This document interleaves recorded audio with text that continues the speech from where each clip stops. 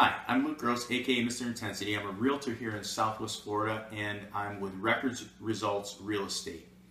Um, one question that uh, buyers that I work with or investors that I work with, one question they should be asking is, you know, how how afraid should I be to work with a contractor?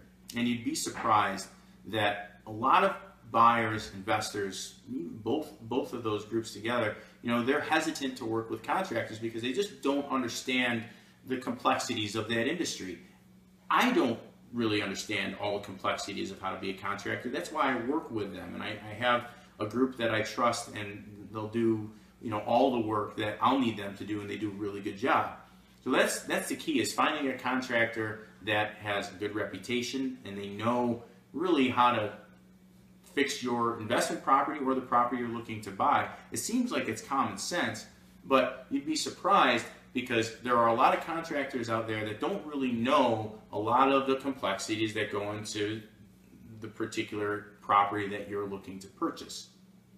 You know, there's issues with permits, there's there's all sorts of specifics that are go beyond just, you know, putting some sheetrock on the wall, painting and laying some carpet or some tile or you know doing some basic upgrades to a property to make it look right. You know? There are, there are a lot of regulations to how these properties have to come together in order for you to be able to get the mortgage or get the financing or even you know have the opportunity to sell your property to the next person. Certain things have to be in line and you need to hire the right person that understands all the complexities of how that's going to work.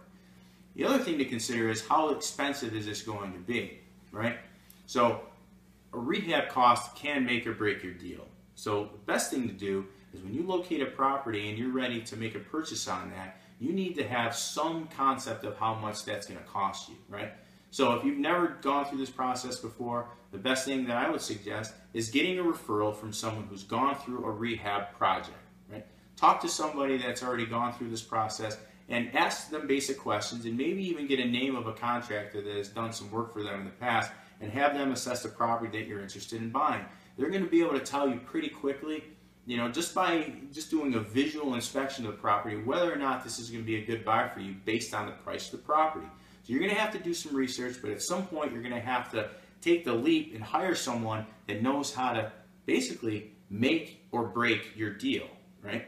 Not every deal is a good one. If the price is really good, but the rehab cost is just way out of whack, you might want to move on to the next project and see if that's a better fit for you.